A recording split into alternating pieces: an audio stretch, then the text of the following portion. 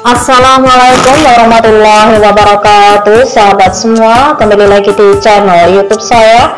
Baik sahabat di video kali ini tentang cara login ke YouTube Studio versi desktop atau beta tanpa dialihkan ke aplikasi YouTube Studio sahabat ya.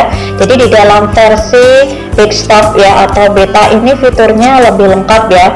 Nah terkadang di saat kita ya mau mengedit atau setting ya melalui browser ya tiba-tiba kita dialihkan atau dibawa ke halaman aplikasi YouTube Studio. Seperti ya padahal di aplikasi YouTube Studio ini fiturnya kurang lengkap ya.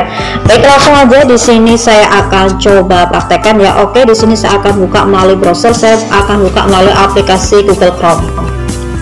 Baik pada kolom telusuri ini ya di sini saya ketik ya studio youtube.com garis miring channel kemudian garis miring lagi ya jadi seperti ini ya.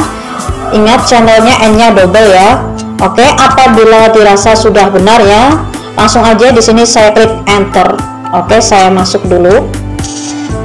Baik kita sabar dulu menunggu ya kita sabar dulu ya ini sedang proses memuat kita sabar sebentar. Nah ini kita sudah masuk ya ke YouTube Studio versi desktop atau beta ya. Nah di sini fiturnya lebih lengkap dibanding melalui aplikasi YouTube Studio. Jadi kita bisa setting kita bisa edit lebih lengkap melalui versi desktop ini ya sahabat ya. Jadi caranya cukup mudah ya sahabat ya agar kita tidak dialihkan ke aplikasi YouTube Studio. Caranya seperti di awal tadi ya sahabat ya. Jadi caranya cukup mudah sekali. Baik sahabat demikian tadi ya sahabat ya. Semoga bermanfaat. Sekian dari saya. Wassalamualaikum warahmatullahi wabarakatuh